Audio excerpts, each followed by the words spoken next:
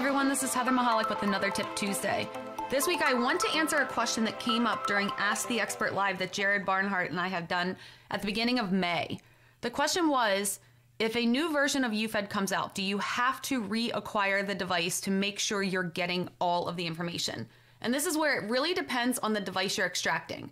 So I'm going to go into search devices and recently used, and I'm going to choose one of the devices that I previously acquired. Now, what I would really alert you to is if you ever see physical and if you know you have a rooted device, great. Chances of that happening are pretty slim to none. If you see file system, you actually want to go in and see if you can get a full file system extraction using one of our live methods.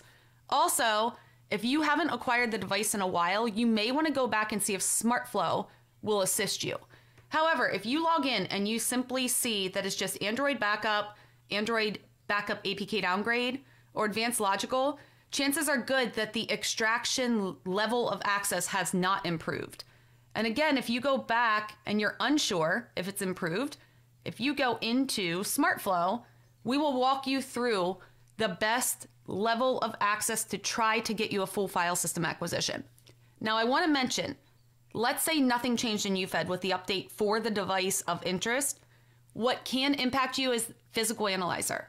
If you're using PA7 or PA Ultra and advanced techniques are built in or additional parsers to parse additional artifacts, then you may get more information.